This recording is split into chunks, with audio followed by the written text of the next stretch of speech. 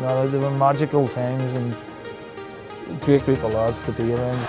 Chance! 2 2! What symmetry, what joy, what relief! And the memories I've got of that is probably one of my best moments in my career. We underestimated no one because we was that team. He has a real presence. Oh! It's a super goal from Matt Elliott. When I came to Leicester and Martin O'Neill was a manager, I realised that playing football wasn't enough. It was about winning. Proud to lead Leicester out, proud to walk behind Martin O'Neill. Guppy now with the corner. It's Elliott!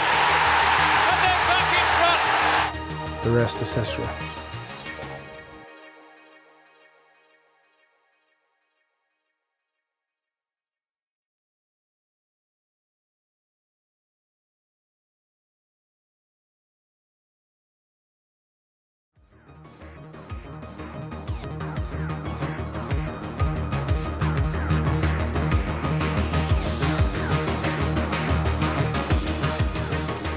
Leicester City and League Cup success became synonymous with each other during the late 1990s as Martin O'Neill's side shrugged off the little old Leicester tag to become serial finalists in the competition. The Blue Army, whose side were now an established Premier League team, became accustomed to visiting the old Wembley Stadium, but Leicester City's record in cup finals at the world famous ground was unenviable. They did, however, boast a rich League Cup heritage, but with that success also came defeat. And that's where their road to glory in 2000 began, on the 21st of March, 1999, versus Tottenham Hotspur in the League Cup final at Wembley.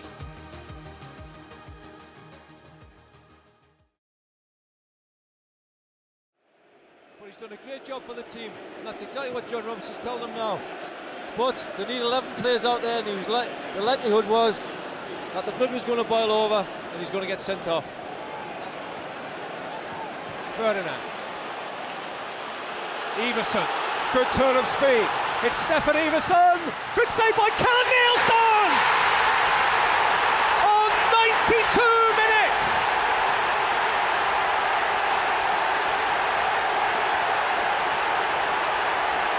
Tottenham have snatched it as late as late can be.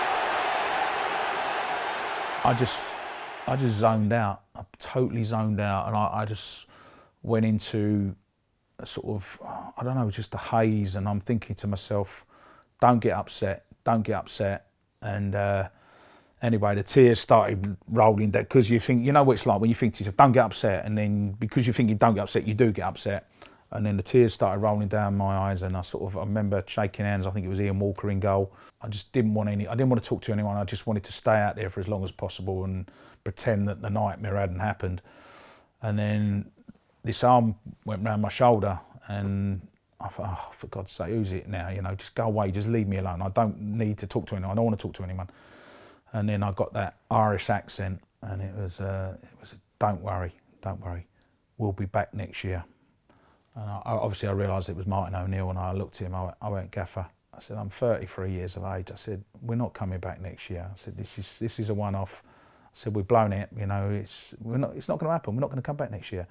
He went, I promise you, we'll be back next year. It was a it was a cruel blow at the time, and uh,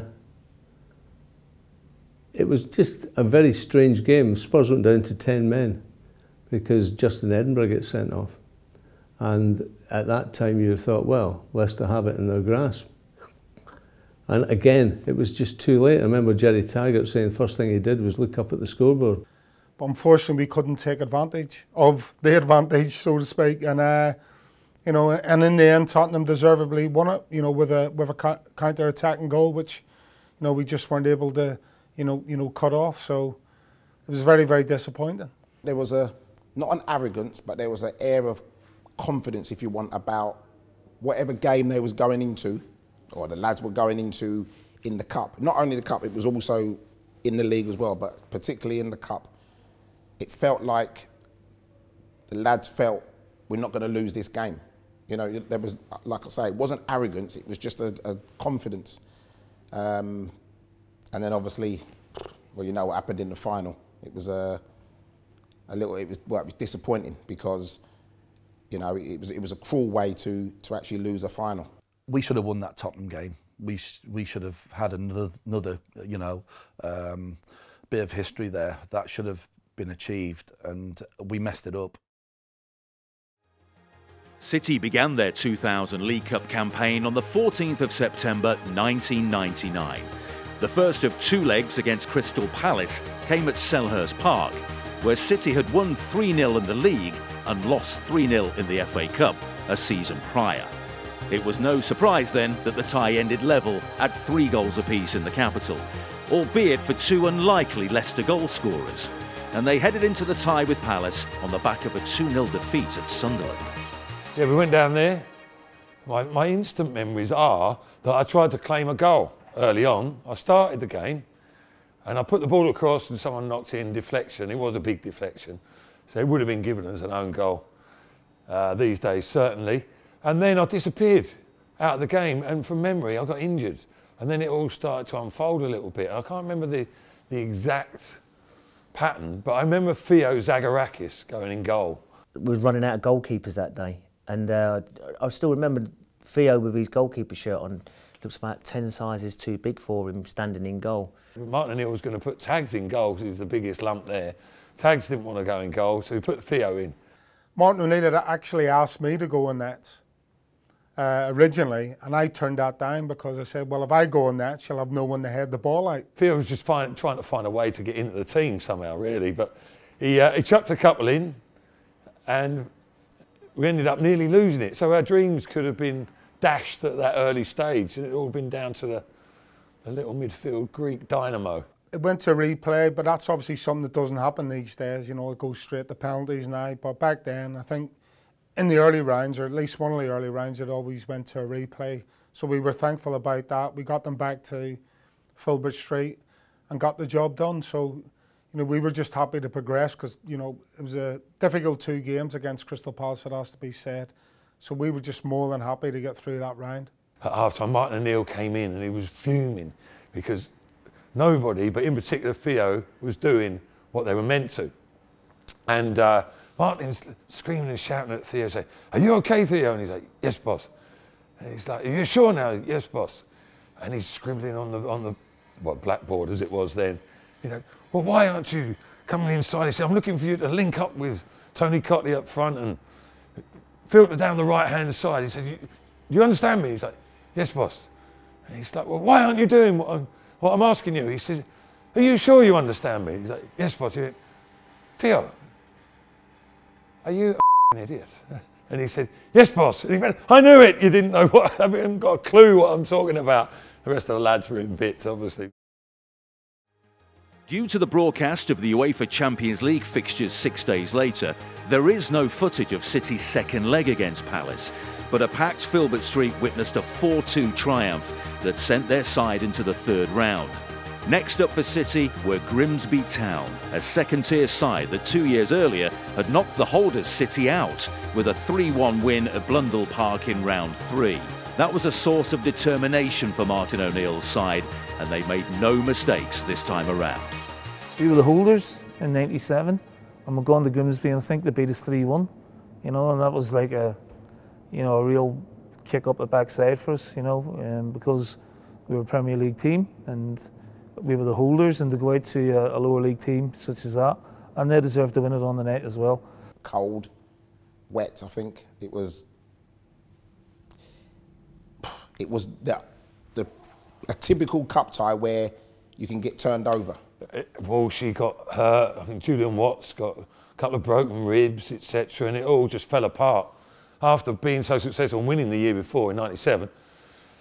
But uh, yeah, it wasn't always um, glitz and glamour in, in, the League Cup. I was awful. I played rubbish, and we come in after the game and. Uh, we was just wearing. I think we, for whatever reason, we was wearing like one to eleven because it was a cup game. I think it wasn't the squad numbers. So anyway, we come in after the game and Martin started. I think Kasey Keller was in goal. Number, you know, Kasey, rubbish. How can you get three goals? And number two, number three, and I'm wearing number ten.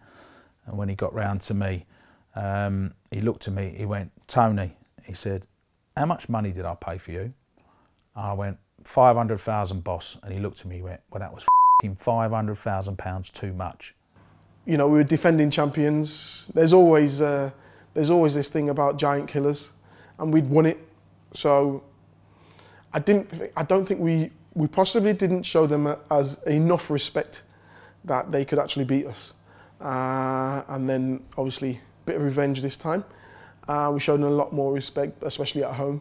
I just remember when, when Grimsby was pulled out of the hat that the build up to that game was all about making sure we didn't go out to Grimsby again. Uh, and that's probably why, you know, yet again, you see Martin put out, you know, a really strong team. That's a, that's a Premier League side there. I think at that point, you know, you're always thinking, listen, we get past this one, then, um, you know, you're really into the nitty gritty then. So, uh, of course, we wanted to get one over them, but really we wanted to knock them over and, um, and make sure we were in the hat for the next round. And thankfully, we managed to do that. You know, I think we beat them 2 0. Muzzy and Emile scored that night. Uh, and it was just about, you know, no semantics, no fancy stuff. We're here to do a job. We should win the game. We're the favourites. And that's exactly what we did. The big thing at that time was that they had this thing about being boring, boring Leicester. I think uh, Arsene Wenger had first sort of mentioned this. And instead of it being a sort of a, a, badge of shame, both the players and the fans, I think, took it to be a, a sort of a badge of honour because although they were ostensibly boring, uh, they were also incredibly effective and that they were a well-respected side. Martin had built a team. Uh, you know, we, at times we weren't the prettiest, we weren't the easiest on the eye, but you know, the dressing room was a strong dressing room. I believe in a successful team, you can have great players in that, but you've got to have great players with character, something different. It was a, special bunch of lads. Um, I mean, I was fortunate throughout my whole career to play for clubs that had a good team spirit, which was probably the driving force behind uh, the team rather than flashy, super skilled, uh, brilliant ability players. It was more of a team, a team effort than individual effort. You know, you had to be technically good to play in the Premier League anyway, so he wasn't just uh, just throwing characters together. He would do his homework on how good a footballer you were first and foremost, but what was your characteristics that you brought with that as well. When you've got a, a dressing room full of characters like you did, or, or as I like to call them, mouthpieces, which I would include myself in as well, and to try and get to the end goal, and sometimes you have to let your feelings be known. And, and there was in plenty of occasion when you know, players will let their feelings be known towards me. With the commuting, and it was it, it was it was difficult in a way for me because um, you know the boys would say go out on a night out on a Tuesday or something and have the day off on the Wednesday, so that when everyone came in on the Thursday morning, they're all talking about well what they did on the Tuesday night or what they'd done at horse racing the day before, whatever it might have been. So, so I, I, didn't really get involved in all that, but you know what I can say is they just made me feel really, really welcome. When you're close off the pitch as well, it reflect. It, you can see it on the pitch. I think you have. There's a bond that you sort of is created, and um, it's just through going out socialise, getting to know people more, and, and getting to like people. Um, not many people like their work colleagues in in any job, but we all got on really well. That team spirit took us everywhere. You know, we were built on that, and um, and that man management with Martin went a long, long way. So when I look back, there were great times, great memories, but you wouldn't, um, you wouldn't work like that in this day and age. It just wouldn't happen. Leicester's key strengths at the time were considered to be the spirit and character within the squad. Giants of the English game, Leeds United, proved to be a formidable opponent for the Foxes, the Yorkshiremen were in the midst of a run of European campaigns. They'd also won 19 of their 25 games in all competitions, heading into the fourth round clash at Filbert Street, making Leicester's shootout success against David O'Leary's men even more impressive. Yeah, Leeds at Filbert Street, yeah, that was a that was a different sort of scenario. You have to say Leeds, you know, obviously at that time, you know, an established Premier League team, difficult game. Uh, and it proved to be the case. Yeah, well, they were, you know, emerging as uh, a club that had been previously a sleeping giant. So we were fully aware of, of Leeds and the young players that they were, you know, um, interacting into the team. Um, but big names, big names in their in their team as well. So we, we knew it was going to be a, a, a tough game, and Leeds. There always seemed to be a little bit of a rivalry between Leicester and Leeds. I don't, I don't quite know why, but um, it always there was always quite a lot on the game and quite fiery. I think David O'Leary was the manager, I think, at that time. Him and Martin O'Neill were not best of friends. There used to be a bit of an edge in those games. It wasn't a, it wasn't a night for the purists, that's for sure. Uh, I think, you know, the game obviously finished nil-nil. Uh, not a lot of chances I can remember. Might have been one or two chances, but not again, not a game that, that springs to mind as a, a Leicester City classic. I still think Leeds should go wider in the last third when they're making attacks. They're trying to get to... Oh, the big guy's been taken out. Does the ref deem him to have been taken out by intentionally? He does. And Radebe will have to go. He was cautioned in the first half and will now be sent off. Nigel Martyn in goal, England goalkeeper, certainly one of the England keepers at the time. You think, right, this is going to be a tough, tough ask. I mean, Emile Heskey was our out-and-out striker, centre forward. You know, he was banging a few goals in. He's fancy Emile, even if he just levered it.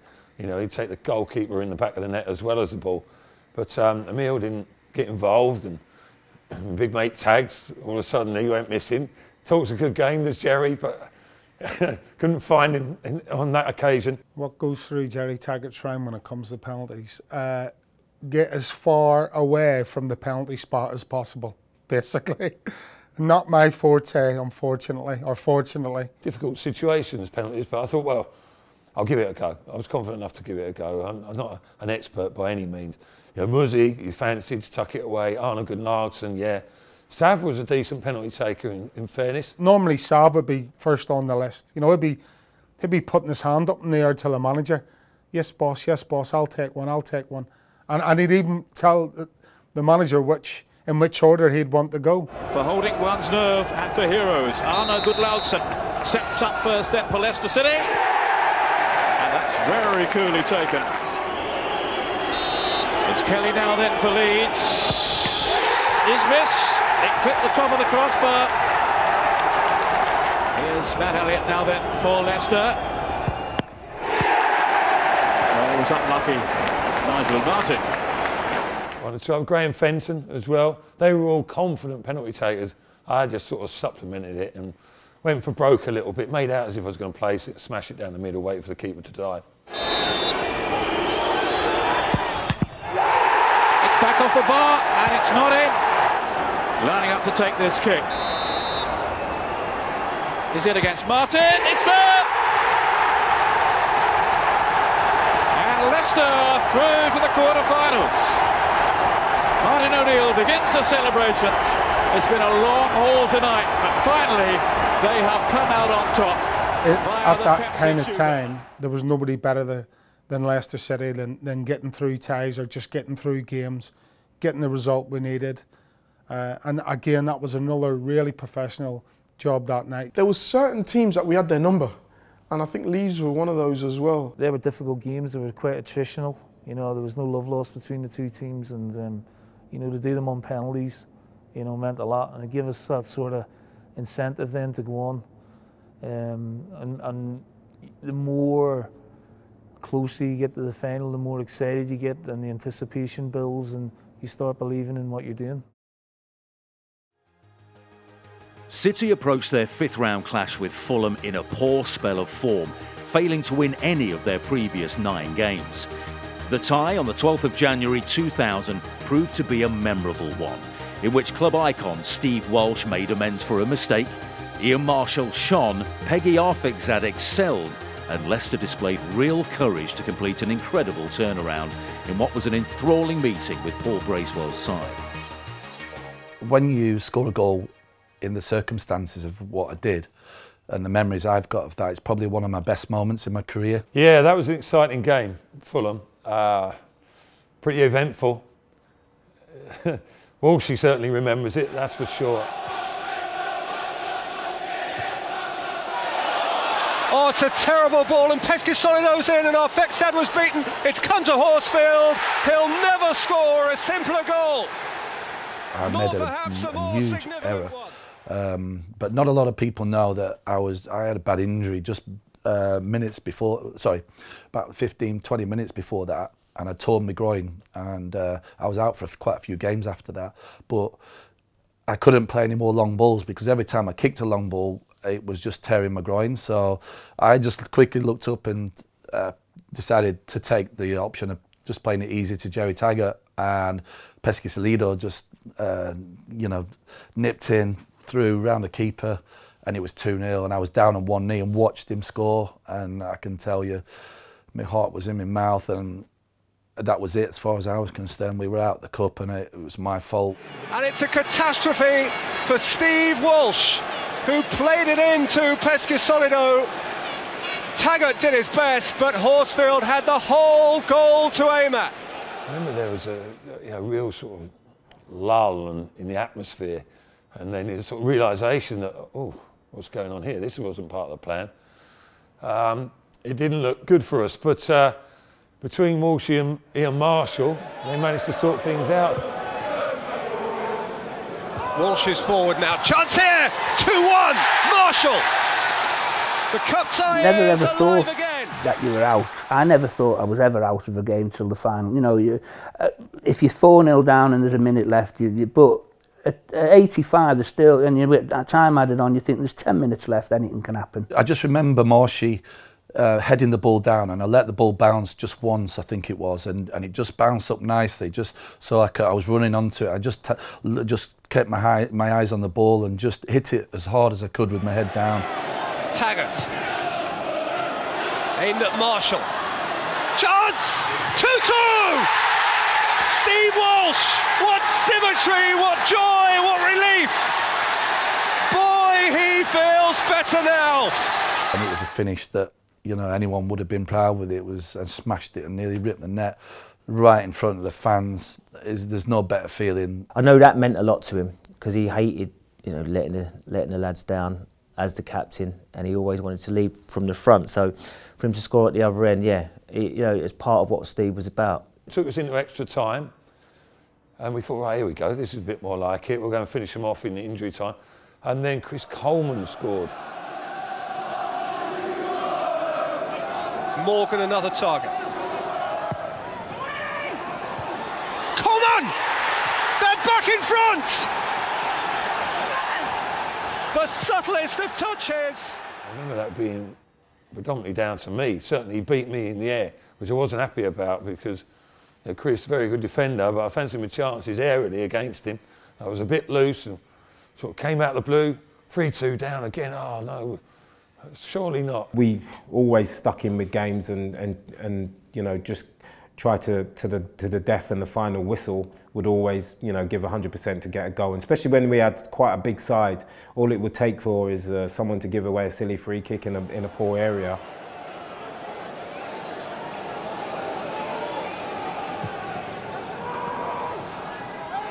It's come through to Elliott turning. And Marshall! Yes! And I remember I'd just set up a business with a good friend of mine, and um, he said to me, "It's on the telly tonight." I said, "Yeah." He said, "Let's make a T-shirt, and um, if you score, pull it over your head and, and, and run with it." I said, "No, I'm not doing that." He said, "No, come on, it'd be great for the business." And that. So uh, I said yeah, but with really no intentions of doing it. And I don't, I don't, I don't think I did it on the first goal. I can't remember, but I know when I scored the second goal. I remember running away with uh, my top over my head. And I remember Martin O'Neill, like we got through, and again, typical Martin, the first thing he came and said to me was, I don't do that again, son. You know, having this top on and, and all that. And I'm like, all right, you know, it's like, it don't matter, does it, Martin? It don't really matter, but you're still having a go at me, but you know, Of their five penalty takers against Leeds in round four, Leicester have only two available tonight. But as he did then, he will now. Arnar Gunnlaugsson with the first kick for Martin O'Neill's side. standing on the halfway line, you're just hoping and praying that you score your penalties and, and you know the keeper at least saves one of them, if not two, or they stick one over the bar, or they hit the post, or you know, com, you know, com completely fluff their lines. As he did then, he does now. Scores. Four years since Fulham were in a penalty shootout. Chris Coleman.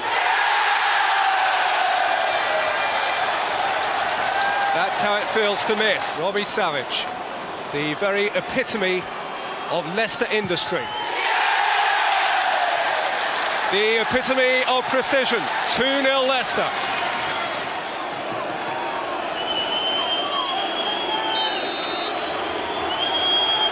Paul Trollope. He went the same way as his skipper. Graham Fenton. His first clean kick at the ball. And it was clean enough. 3-0. You don't want to be the one that misses and you know you feel for people that are going to miss but you try and get a little bit of a sense of the body language of players you know you can kind of tell whether people are confident or not Geoff Horsfield must score for Paul Bracewell or Fulham's dream is over. Horsfield! Oh, Feksan saves! And Leicester City are through. Three penalties to nil.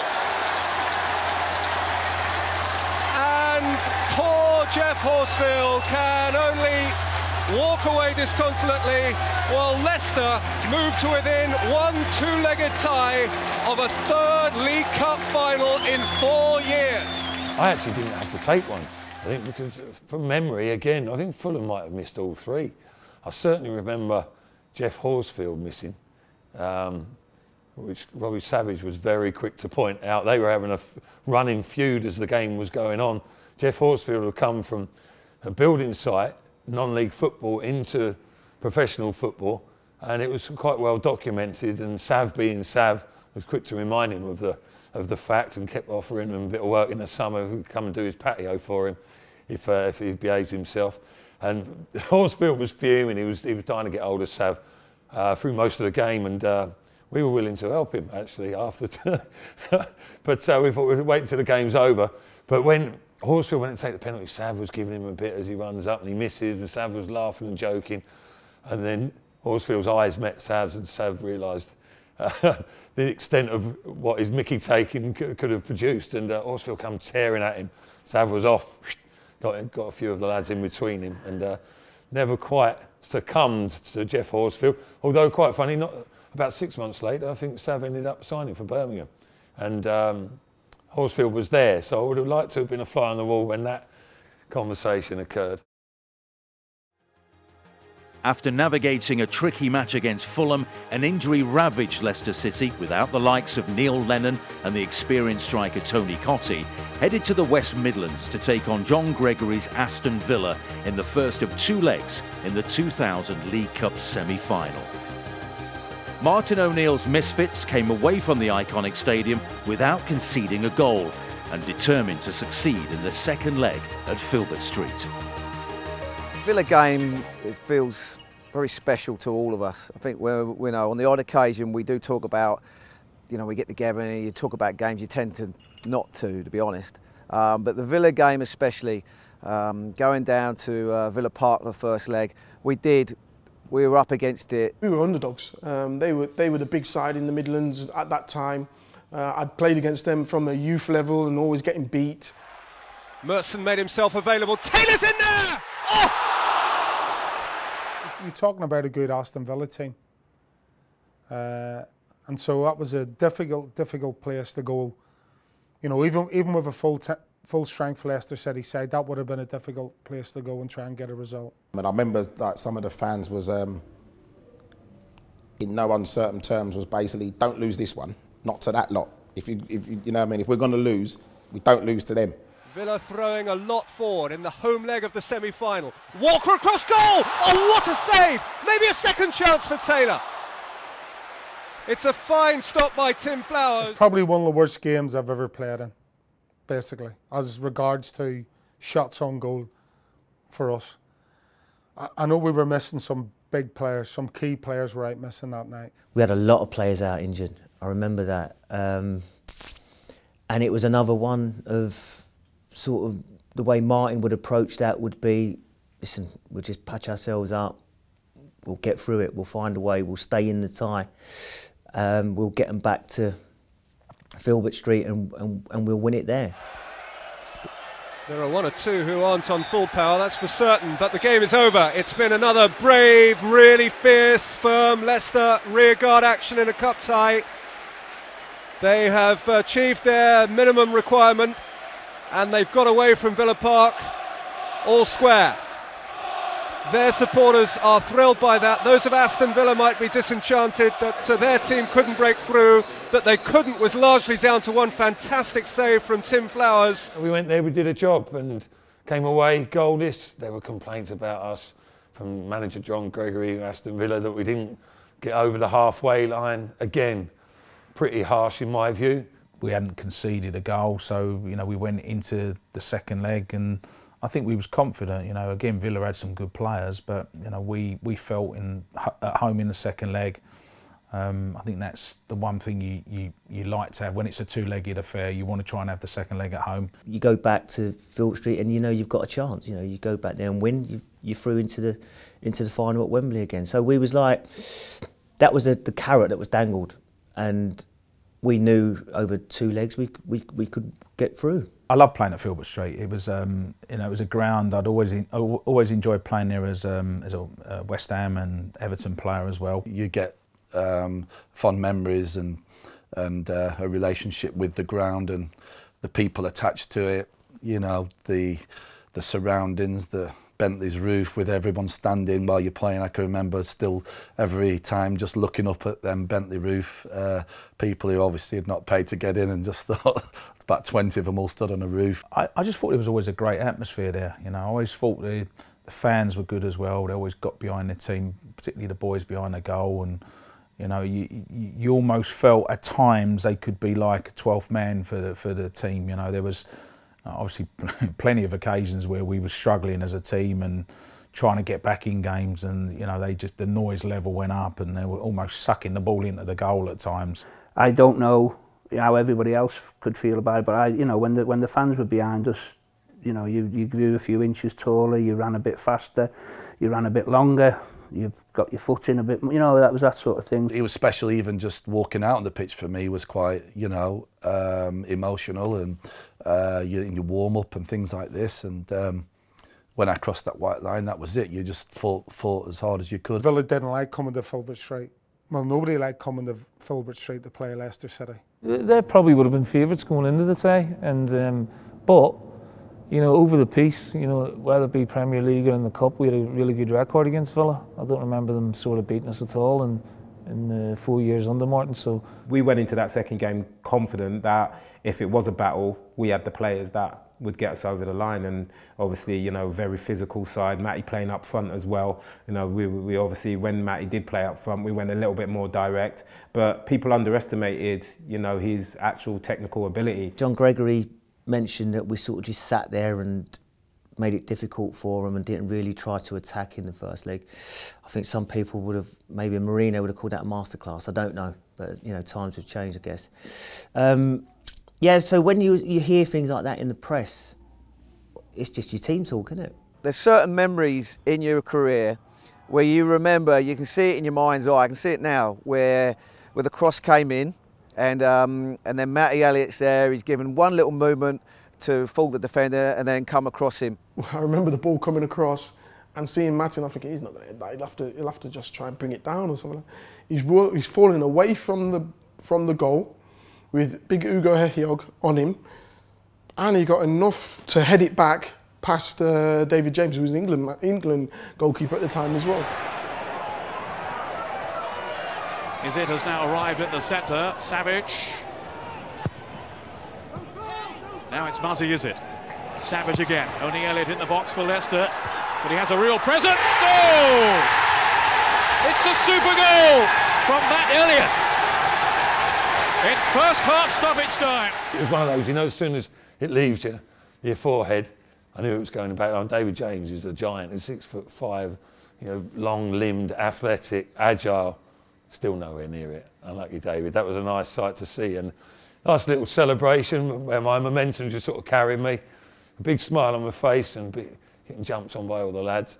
Even though it was early in the game, relatively, before half time, you know, we took that lead and it almost felt as if we weren't going to relinquish it. Funny thing was, I don't know if it was me and Muzzy would would come off at the time, and I was up the tunnel and I couldn't watch the last couple of minutes. And then when the final whistle blew, we were just sprinting out onto the pitch celebrating with everyone, um, and the crowd were going absolutely ballistic. But it was just a, a great feeling to know that you were going back down to the cup final. Eating away the seconds now. Zagorakis going down under the weight of the challenge from Hendry. It's hard for defenders, it's hard for the defending side, they're anxious. They can't really get at the ball here without giving a free kick away. There can't be too much time now left on Paul Durkin's watch. We've played three minutes of stoppage time, and it's Wembley again for Leicester City as Martin O'Neill celebrates with John Robertson. The old Nottingham Forest allies have done it again for the third time in four seasons. Martin O'Neill's team, thanks to the goal from Matt Elliott, have reached the League Cup final. An outstanding achievement and surely the perfect reply to those who chastise them for their dogged, determined approach. Some say negative. Well, this is their answer. I, I think it was Big Ron. Said something along the lines of square pegs, round holes, and I think that spurred Matty on a little bit. It was midweek sports special. I remember I got home on the Wednesday night, watched the game, brief highlights, not a lot to report. Ron Atkinson said, oh, Leicester City, extremely lucky to still be in this tie. They've come here with no ambition. Talk about square pegs in round holes. They've even got Matt Elliott playing up front. So I heard that and I thought, oh, you know, it's true, Ron, but slightly harsh. But okay, yeah, we'll take it on the chin and see, see how things go. Then the second leg, obviously, I scored the winner who celebrating, lap of honour around the pitch with all the fans. Everybody's looking forward to a trip to Wembley. I'll run down the tunnel, go and enjoy the atmosphere in the changing rooms. Who do I see on the right-hand side? Having an interview with Gary Newbon, who was the presenter of the midweek sports special. Ron Atkinson, live on telly. Obviously not feeling too good about Villa going out. I had a little trot down the tunnel. I thought, shall I? A little rewind. Just pops up, popped my head around. Oh, Ron, square pegs, round holes. See you at Wembley, mate, yeah? There was only one person in charge. As big as the characters were and as big as they were physically and mentally, Martin O'Neill was in charge of that dressing room and everybody knew that. But, you know, he wasn't in charge in a way that, he, you know, he threw his weight about. You know, he was, half the time he wouldn't speak, speak during the week, you know, and uh, it, was, it was mainly in the dressing room where he came to the fore. You the Gaffer's team talks were always inspirational for all of us. I mean, I think any player that, that played under him, you know, listen, you know, you got a squad of 30 players, you know, you can't keep everyone happy all the time. So there'll be times when players won't be, you know, would, would maybe weren't keen on the manager, blah, blah, blah, because it's all about playing, of course it is.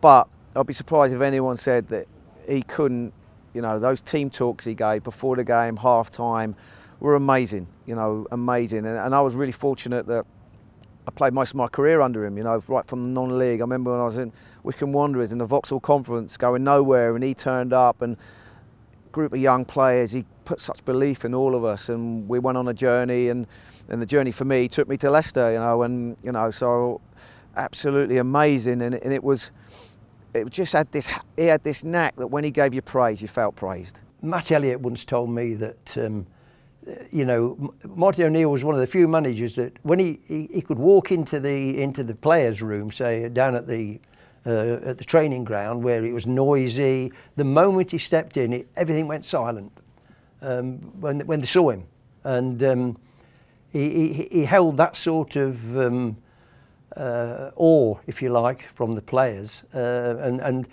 if they if he just sat down, then the noise started up again but they all went quiet in case he wanted to say something. Now, whether that was out of fear or respect, to this day, I don't know. I think it was a combination of the two things. Martin had that. But also, Martin, I'd be down there, you know, and it'd be 11 o'clock and the lads had been out for an hour, and Martin would be making himself a cup of tea. He wasn't really out there all the time. You know what I'm saying? He mixed it. He didn't want to be in the faces as well. I think sometimes he made a point of doing it because he knew that we was all waiting to start training and you, you couldn't start training without the manager. So he would just keep you waiting, and then all the lads are getting agitated. Oh, come on, you know, you said at 11 o'clock start, and it's half 11 sort of thing. But I think he done it. You know, he played the mind games with the players, and um, there, there's no doubt he was the boss, without a doubt, 100%. And you know, even though the really powerful characters, you know, at times would speak up and say things, Lenny, Marshy, etc., Walshy, you know, we all knew who the manager was. We all knew who the boss was, and although you gave your opinion and you challenged him, there was only ever one winner. You can argue as much as you want. Part of his character be reflected on the team. Yeah, Martin was, you know, very emotional. If he won, it was like you're on top of the world. It's like winning the World Cup. If you lost, it was doomsday. Uh, he would hardly even look at you, never mind speak to you. But that wasn't anything to be taken personally. It was just the way it was. You know, so much emphasis on winning games, however that was. Didn't have to play pretty. Didn't have to be the better team. You know, just give your all, be committed, and if you come up on top, then it was, you know, it was a wonderful experience. Yeah, if you lost, it was dejection, um, bordering on devastation, and it made you more determined to correct things next time round. I remember him coming in and taking me to one side and saying, lad, you're going to play. I want you to play. All I want you to do is just enjoy yourself. Go out there and enjoy playing football. Blah, blah, blah. And I was like, okay, cool. Um, you can say that, but allowing someone to actually go and do that is a totally different thing. But he did. He didn't fill my head with a load of information. He would tell me, uh, I need you to do this. Get the ball, turn and run. Okay, that's what I did. And that was my, that was my game. Uh, I remember one time um, I got the ball into me, controlled it, laid it back to Robbie Savage. Robbie Savage, I think he took a touch and gave it, and then someone nicked the ball off him. And I thought, oh, he came in and got me. what's he having got me for? And he goes, what's he going to do with the ball? I goes, I don't know, he's going to control it, pass it. No, you get the ball, you turn, you run. He can't do nothing. I didn't think we got on. Speaking to him after, like we get on quite well now, but speaking to him after, it was because his demands of what he wanted from me was more than what was that he thought that I was giving. He was a genius, you know, we could get the best out of you. He was um, passionate, he'd make you run through brick walls for him. He could also make you feel that big. Um, didn't bother much with the tactical side of the game. You know, we trusted his instincts. And um, for example, when we got promoted, you know, all the way through pre-season, we were playing my back four. Two days before the season started, he brought Kasey Keller and Spencer Prior. Played at Roker Park on the Saturday, and we were three-five-two. We haven't worked on it. He just said, "Look, I trust you. This is the shape. Go out and do it." We played like that for the four or five years that he was there with, you know, great success. But in terms of his personality, very, really intelligent guy, you know, and a winner. Got the best out of you. And that's what good managers do. He must have done it in his Nottingham Forest days uh, under Clough and stuff. Because um, he always, he'd love to do it, you know, take you away, forget about football for a bit, um, go and enjoy yourself for two or three days. And it was like, you didn't have to sort of tell us twice sort of thing. No, well, we all used to love a trip, and, and, and Martin used to love it. Well, he didn't like travelling with us, but he used to like letting us go on a trip, and um, and he knew what it what it was. It was a let your hair down for a few days and um, enjoy yourself. Don't get into trouble. Well, Manga was a it was a typical us was a disaster. Some of the players went and played golf. Some of the players decided that they were going to have a few bar games, or bar quizzes. Well, we had a lot to drink. Uh, and the worst thing I think we'd done was go back to the piano bar. That was the worst thing. We should just all gone to bed. And I remember Gary Lineker was in the bar at the time. He was stood at the bar, and as I walked in, he's gone like this. So I thought, what's what's going on here? Anyway, they were loud in the bar, in this piano bar um, area, and um, he Lineker, I went over to him, Gary, you know, oh God, these are, these are bang on it. During which point, John Robertson had come over, um, where we'd had a couple of beers, it was a little bit lively, and we got talking. Where, where's the gaffer? Because he hadn't flown out on the plane with us, and Robbo went, oh, he's flying out in the morning. And uh, so Marshy went, oh, give us your phone, Robbo, and he borrowed John Robertson's mobile. So I'm sitting there, like, ringing, goes to answer phone, and I, all right, Gaffer, Marshy here, we're having a great time. Is there any chance of the lads having a bit of a later curfew?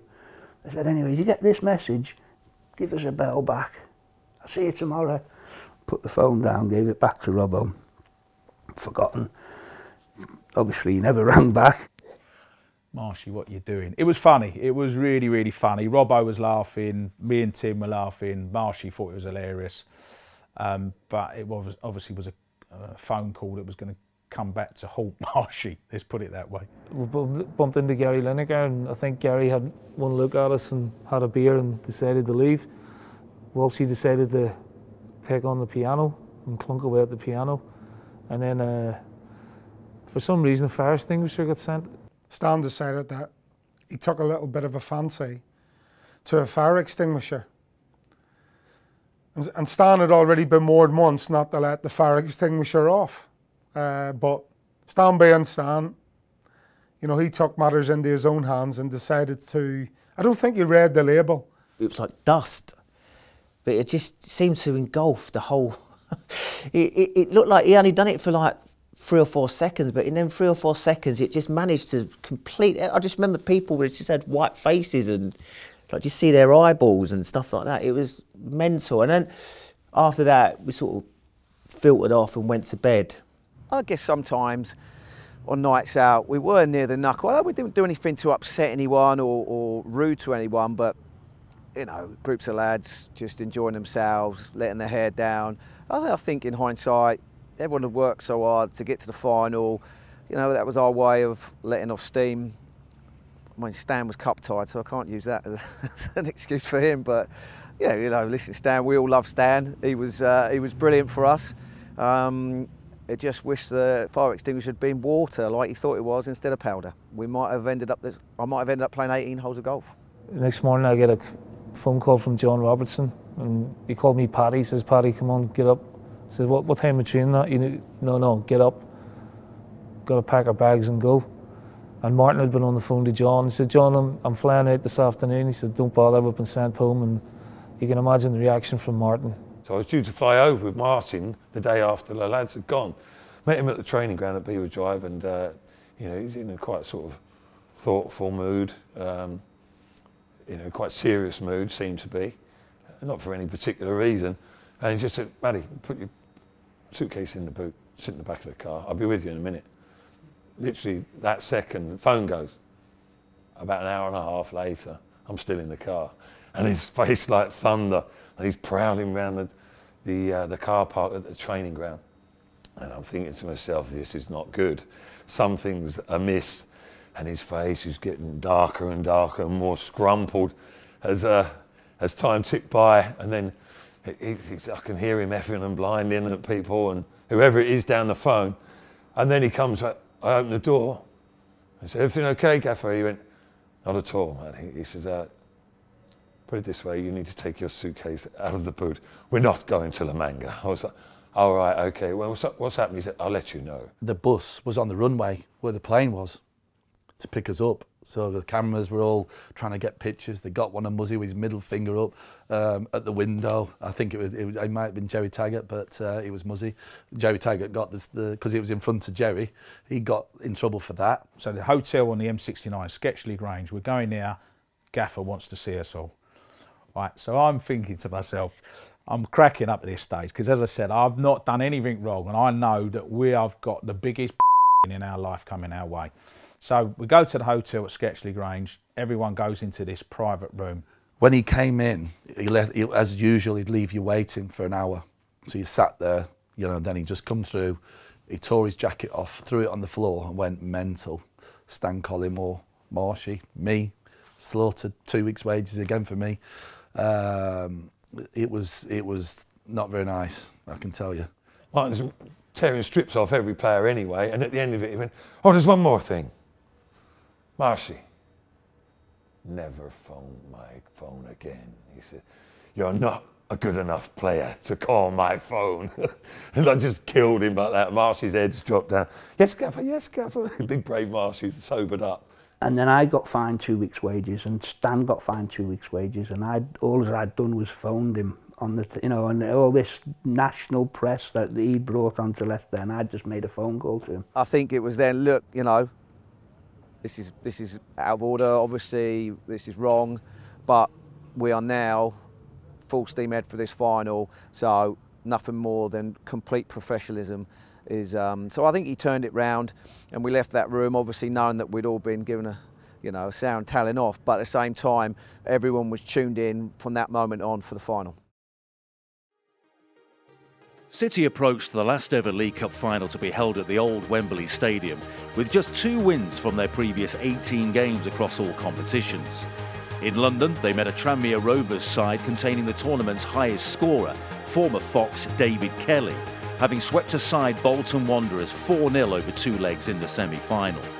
Martin O'Neill's Foxes, frequently the underdogs, a title which they so often thrived off, were suddenly billed as favourites and were seeking to eradicate the pain of their heartbreaking defeat to Tottenham a year earlier. They had never won a cup final at Wembley Stadium, but thanks to their stopgap striker, they were thrilled to finally set the record straight. We used to stay at Burnham Beeches, which is where England used to stay on their training camp prior to big games, and uh, Martin used to like developing that sense of you know a big game atmosphere. I mean, we'd go to the theatre the two nights before in, in London's West End. I think it was that year we went to Saturday Night Fever, which was quite funny. Because um, all the lads were going, most of them don't want to get involved in the theatre. I was quite happy to, I've been a few times myself, quite enjoy it.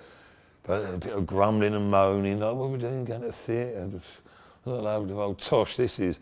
But before you knew it, Saturday Night Fever, the Bee Gees, you look round over your shoulder, there's 30 lads up giving it all the old finger pointing and everything, the old John Travolta bits. It was the seventh trip to Wembley I can remember in, in nine seasons, which it was that was incredible in itself. And um, you know, people were we almost got blasé about it. It was like a, an annual trip out. Um, and I remember somebody saying, well, it's about time they started paying rent, you know, at Wembley because they were there that often. It was the last League Cup final at Wembley, the last final, uh, League Cup final at Wembley. And the old Wembley Stadium, although it had a good atmosphere, did leave a lot to be desired, and there weren't the best sight lines. But the, uh, so it wasn't the best of stadium. But but in terms of the atmosphere, it was great because the Leicester fans took over one half of the stadium or that end of the stadium.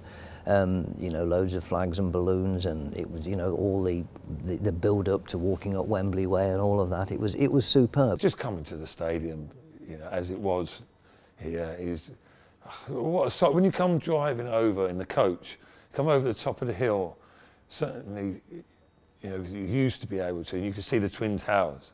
You saw that, and that was the stuff of dreams because we'd experienced it before, the majority of us, at one level or another, but whenever it occurred, it still got you. So I stopped at the holiday Inn that night and I got up, put my gear on, I went to Wembley Way. Of course, all of the Blue Army was coming in, and they're all looking at me, thinking, "What's Birch doing?" Stood there, bottom of Wembley Way, and as our team coach came round, it stopped. Doors open. I got on, front seat, going up Wembley Way, gates open, in to the dressing room, and uh, that's just come to me. This is the first time I've thought about that practically since that day, and they were the occasions that uh, that, that I loved at Wembley. You know, it's hard to describe, you know, what it engulfs you as a human being. You know, the build up to the final.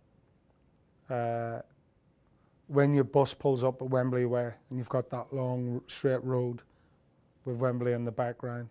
It's a big occasion, you want to play well, you've got a lot of friends and family coming to the game, millions of people watching it, so there is pressure. Um, even though it was only Tranmere, and no disrespect to them, um, we, what was good about our team was we underestimated no one because we was that team. We was the team that was always underestimated. So we we weren't going to, you know, there was going to be no slip ups. Remember coming out, have a little walk around the pitch before, survey the situation, get a feel for the for the stadium, etc. Just acclimatise. But then coming out before the game, I remember all the fanfare, all the the pyrotechnics going off and everything. It was a real glitzy occasion, a bit too much, a bit over the top, really. But proud to lead Leicester out. The main aim for me was to to play in that final against Tranmere and you know above all else win the game. And I didn't care how we won it. I didn't care whether it was the worst game in history and we won it one 0 I really didn't care. For me, it was after the previous year and all my other experiences, just win the game.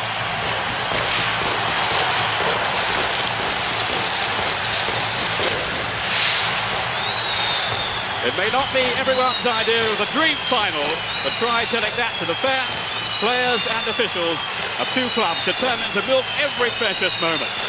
Leicester, hardly strangers into Wembley, but cast this year in the unusual role of favourites at Tranmere Rovers, for whom six months ago the very idea of being one step from Europe would have been thrown out by Roy of the Rovers for being too far-fetched it's magical, you know, and if you can't look forward to them games, then you're struggling. Um, and, and, I said, like, when you walk out of the dressing room and you walk up the little incline, out of the tunnel, um, and then the crowd see you, I think those sort of things you, you dream about as a kid. I know it sounds a little bit corny, but you do. You know, you think, what must it be like? I think it was one of the few moments in life, it was every bit as good as you hoped it would be. Well, the mindset was, you know, we're probably the favourites because we're the Premier League team, but this is, you know, a dangerous team to play against. But we felt we had the quality. We believe we had the quality.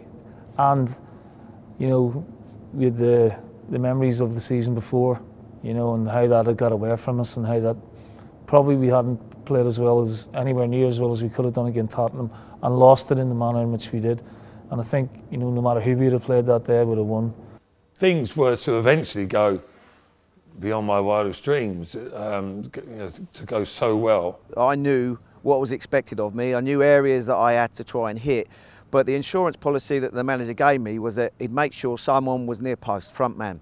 So in my attempt to try and try and hit it as hard as I could and get the whip on it, if I got it wrong and it was too low, we'd have someone there. There was my insurance that way.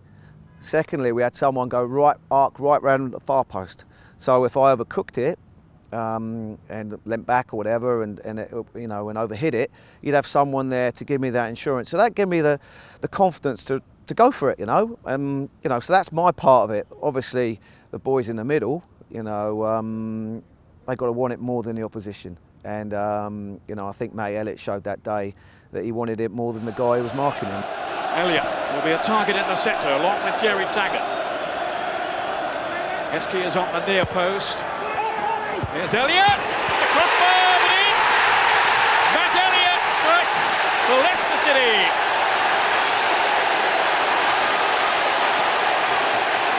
Murphy Leicester left distraught.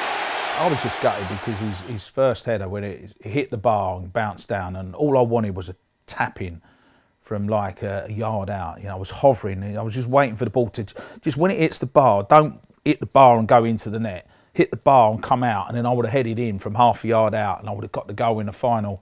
But Elliott was being greedy. You know, he, he put the ball in the, the net. It was great. Lennon takes over again and finds Heskey. Chance here for Heskey now. The referee's got to make a decision here. Oh. He's off. Clint Hill joins a small, sad list of players to be dismissed in a Wembley Cup final. And when you think he got away with that challenge in the first half on Emile Heskey, he just sailed too close to the they win. got a player sent off, in my own personal mind, which I imagine would have filtered through the team was, job done before it was over. Um, you know, 1-0 up, they've got a defender sent off. And we probably, you know, subconsciously um, just switched off just switched off. And obviously, when you get a man sent off, you see it in football, you know, week in, week out. Um, teams galvanise themselves because they haven't got that extra player. Everybody does that little bit extra bit of work. Okay, a little lightweight up front, lacking a cutting edge trap here. Can they find one here? Good try by Jones. It's Kelly! Oh, there's the answer. David Kelly! It was a venomous strike. Brilliant headed out by Jones, and what a finish by that man Kelly again. That happens sometimes when players get sent off. The other team have a 10, 15 minute, they sort of rally together. Um, but once we sort of got our composure back, um, I just thought there was going to be one winner. I had a little routine um, going into that, that, that corner and really, I was just thinking, right, okay, get the ball down, get my steps right. You know, I can't remember, it was about five steps, something like that. So there was a routine that I'd practiced over a number of years that sort of came together for that moment, it felt like, you know. And so if I'd have hit the first man, I'd never forgive myself, you know. And, and I, so I just want make sure you get a good connection here, get the whip, trust the whip, trust the technique, keep your head down. Um, and then get it, give the boys in the middle every chance to do what they do, you know, and um, you know, that was my part. Listen, the hardest thing in the game to score a goal. So, you know, Matty Elliott's story is, is the far more important one, of course. Thanks to David Kelly, the man who thought his career was over with his rickety knees. Now he has responded this season to the call of Tranmere Rovers. Guppy now with the corner. It's Elliott! And then back in front. Tranmere's joy is short-lived, and it's Elliott again. And the it's keeper a, stayed on his line. It's a carbon copy. Watch how he. I've said Challinor's played decent, but on two occasions from set plays, he's let that man get away from him. He's done it exactly again, you know. But luckily, Steve Steve Guppy came up with the goods with uh, a pinpoint cross, and I got on the end of it. So we weren't on level terms. We didn't let Tranmere settle on that that equaliser really, and got ourselves back in front pretty quickly. They had a player called David Challinor who was a long throw expert, and uh, he was supposed to be crucial to the outcome. And indeed he was, because he was the one that failed to pick up Matt Elliott twice for his two goals. So yes, Challinor was important, but not in the way people thought. I remember screaming at the cat, a ball came into the box, and Scott Taylor had had a header at the back post. He'd lost me at the back post.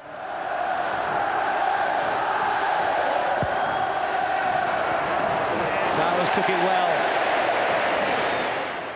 And I just remember screaming at the cat, at Tim Flowers. And I can't remember, I went, Save the cat! And he pulls it out. The ball's got in the top corner, but the cat plucks it air. And as he's as he comes down and you know collects the ball, he just winks at me and goes, "Never in any doubt, big man." And I think that was a moment. That was later on the game, but that was a realization. That was a moment where I thought, "We're going to win this." Heskey up front here with Marshall. That was Challinor. Time rapidly running out now for Tranmere. Can they raise themselves for yet one more time? A long, long ball from Murphy. Well, that's it! It's another glorious moment for Leicester City. League Cup winners for the second time in four years.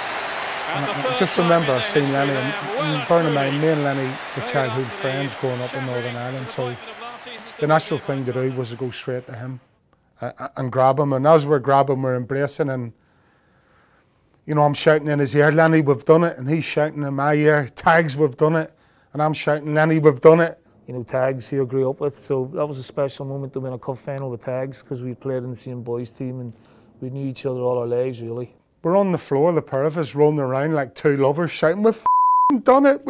We've done it! We can't believe it!" I think as a team, we was just we was just all so pleased because we'd we'd righted the wrong of the previous year, and that was really really important. When the final whistle goes, you think, right, brilliant, going up them stairs, get the get the trophy. Worked hard for this. A lot of sacrifice has been made, uh, and we'll probably have a good night.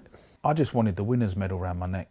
That's what I wanted, and you know, where I'd zoned out the year before in self pity. You know, this year, this particular year, it was it was all about looking forward to going up the steps and that. It's a long climb, but Matt Elliott, their two-goal hero, and his teammates are walking on air. So often their resolve has been stretched to the very limit this season, but now they have their reward for their remarkable spirit, their resilience and their undoubted ability, make no mistake about that. They are the first League Cup winners of the new century, the last in this famous old stadium in its current form.